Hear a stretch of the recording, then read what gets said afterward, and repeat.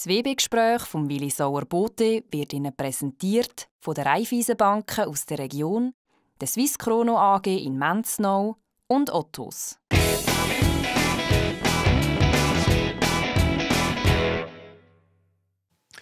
Liebe Zuschauerinnen und Zuschauer, herzlich willkommen zum WB-Gespräch im aktuellen Monatsinterview von Willi Sauerbott. Die Sommerpause geht zu Ende. Die Ferien sind für die meisten vorbei. Der Alltag hat uns wieder. Auch in der Politik fängt der Betrieb wieder an, auch im Kanton Luzern.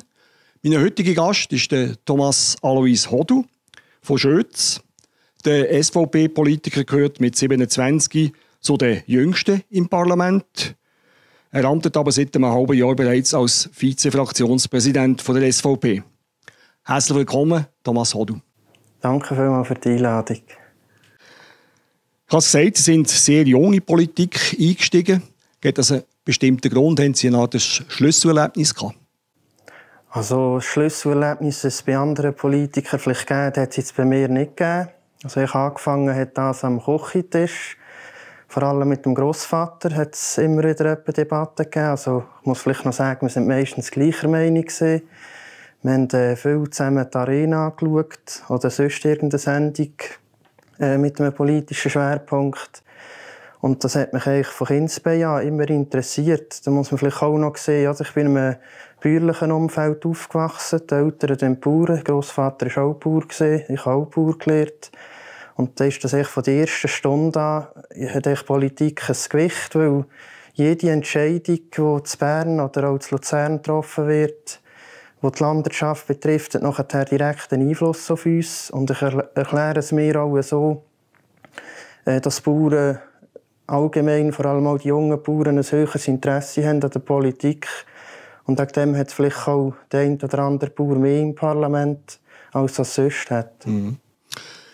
Äh, wenn Sie auch andere Junge motivieren, sind ja immer noch relativ wenig äh, Junge in der Politik.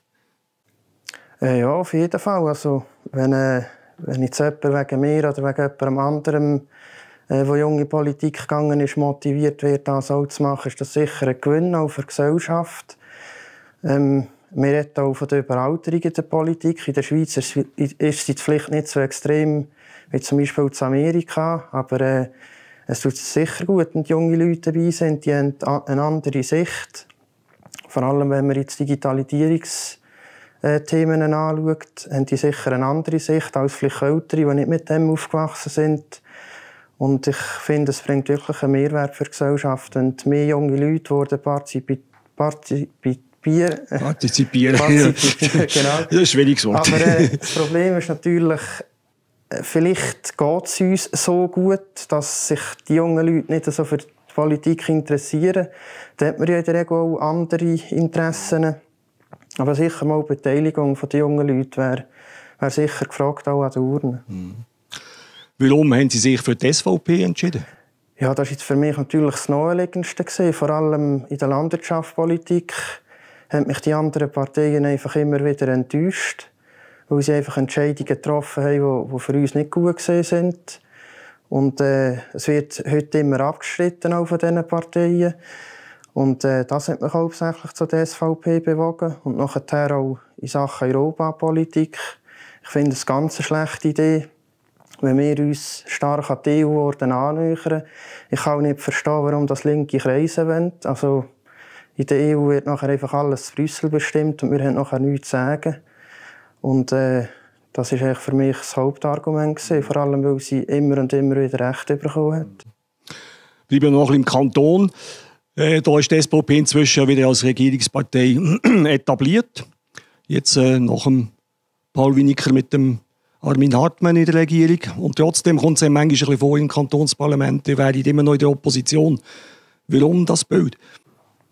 Wir sind natürlich die SVP und wir machen Politik so, wie wir es für richtig finden. Und äh, uns wird ja immer vorgeworfen, dass wir einfach zu allem Nein sagen. Das finde ich ist nicht so. Wir haben meistens auch eine Begründung, warum wir Nein sagen. Vor allem auch, wenn's, wenn das Volk direkt betrifft. Oder? Wir tun ja auch bei den Wahlen, sagen wir ja, für was wir einstehen. Und das gilt es einfach auch zu verteidigen. Und die Leute erwarten das von uns, die, die uns wählen dass wir uns dagegen stellen, wenn etwas nachteilig ist für die Bevölkerung. Sie wehren sich also gegen das Nein-Sagen-Image? Ja, auf jeden Fall. Also, wir sagen zwar schon Nein zu etwas, aber wir begründen ja das auch. Warum Nein? Und, wir machen es einfach so, wenn wir es für richtig finden. Und ich finde jetzt einfach ein Ja-Sager finde ich auch nicht unbedingt sympathisch. Gerade wenn man schaut, äh, zum Beispiel die EWR-Abstimmung hat ja Ja gesagt, 1992. Alle Parteien sind dafür gewesen. Auch viele von der SVP sind auch noch dafür gewesen. Und äh, einfach Ja sagen, das, das ist nicht immer das Richtige. Und wegen dem bin ich ganz klar der Meinung, ähm, Nein sagen, das ist auch eine starke Meinung. Und das wird einfach für unsere politischen Gegner werden wir natürlich dort eingestellt, dass wir immer Nein sagen. Aber ich wage es zu bezweifeln, ob die Grünen oder andere linke Parteien, die sagen auch viel Nein. Es kommt einfach nicht in den Medien. Was man ihnen auch immer vorwirft, dass wir Problem, also die SVP Problem gerne ein bisschen bewirtschaftet, statt sie zu lösen oder Lösungsversuch ähm, vorzuschlagen, sei das im Asylwesen, sei das äh, beim Stadt-Landgraben. Was sagen Sie dazu? Also gerade das Asylwesen ist ein ganz gutes Thema. Oder? Dort äh, sind im, im Parlament, also ich auch schon mit dem Franz Grüter oder mit unserer neuen Nationalrätin Froni Taume geredet. Und da kommen sehr viele Anträge von der SVP. Zu einem ähm, Geschäft sind 50 Anträge von der SVP gekommen, sind auch abgelehnt worden. Und nachher im, am gleichen Tag steht in der Zeitung, eben die SVP durch Probleme bewirtschaften. Und von, von keinem einzigen Antrag ist geschrieben gewesen. Und das finden wir einfach, das geht nicht. Und, und die anderen Parteien bringen in der Regel auch keine Lösung. Sie sagen einfach, wir, wir müssen mit dem leben. Thema Zuwanderung. Und aus unserer Sicht kann es einfach nicht sein, dass wir zu 10 Millionen Schweiz werden und das Leben für die Schweizerinnen und Schweizer immer teurer wird. Jetzt sind wir wieder ein bisschen in die Bundespolitik abgeschweift. Vielleicht zurück zu Ihnen als Kantonsrat. Bei welchen Themen setzen Sie Ihre persönlichen Schwerpunkte Luzern?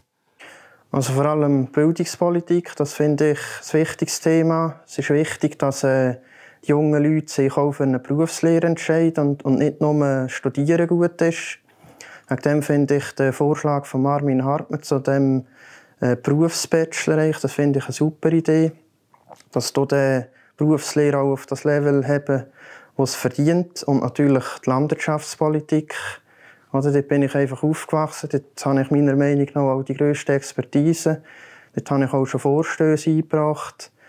Und, und äh, ich wollte einfach, dass wir die produzierende Landwirtschaft erhalten. Und nicht so, wie es der Kanton im Moment will, einfach Tierhaltung abbauen und äh, Bauern in andere Nischen eindrängen und nachher die baulichen Massnahmen nicht bewilligen, die es dafür brauchte. Bei der Kommission sind Sie bei der Wirtschaft und Abgabe, also bei der WAC. Ist das Ihre Wunschkommission oder sind Sie jetzt einfach da reingerührt worden? Also in den letzten Jahren ist die, ist die Kommission ähm, nicht so gefragt gewesen. Also Sie hatten eigentlich wenig Sitzungen gehabt. Ich könnte mir vorstellen, dass vielleicht wegen dem wenig dort rein wollen. Aber äh, bei mir ist das eigentlich an zweiter Stelle gestanden und ich habe das gerade bekommen. Und das finde ich gut. Ich finde es auch sehr interessant. Gerade die Steuerstrategie haben wir jetzt intensiv behandelt. Kommt jetzt auch zu einer Volksabstimmung. Und äh, das ist äh, sehr spannend, habe ich gemerkt, wenn man da von Anfang an mit dabei ist und auch seine Ideen kann reinbringen kann und man äh, meistens vor der Öffentlichkeit informiert wird und irgendetwas entschieden wird. Und, also bis dahin habe ich die WAC als sehr spannende Kommission empfunden. Sie sind ähm, nach relativ kurzer Zeit, also etwa ein Jahr gewählt, bereits Vizepräsident, zum Vizepräsident gewählt worden von der Fraktion. Was bedeutet Ihnen die Aufgabe? Gibt es mehr, mehr Arbeit vor allem oder ist das auch etwas, wo man sich profilieren kann? Also ich habe das überhaupt nicht äh, genommen um mich zu profilieren. Ich habe es auch etwa zweimal abgelehnt.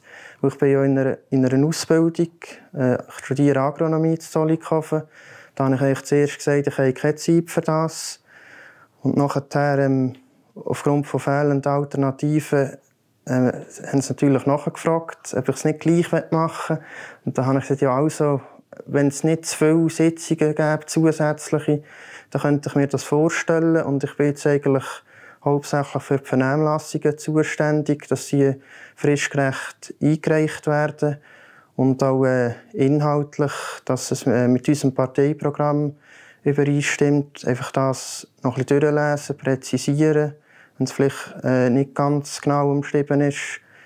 Und äh, ja, das ist sicher auch spannend. Oder? Die Vernehmlassung, das ist eigentlich der politische Prozess von dort an. Das, was man dann nachher im Ratssaal sieht, das ist äh, eigentlich schon das Ende des politischen Prozesses, wenn es da die Abstimmung geht. Bei der Vernehmlassung kann man wirklich von Anfang an dabei sein. Deswegen finde ich das sehr spannend. Mhm. Es ist noch ein interessanter Aspekt. Sie sind fast ein bisschen reingeschöpft worden. Und es ist ja manchmal bei der SVP, es geht ja auch bei den Gemeinden oder so, man findet, oder die SVP ist zwar in vielen Gemeinden die stärkste, also die zweitstärkste Partei, aber findet keine Leute.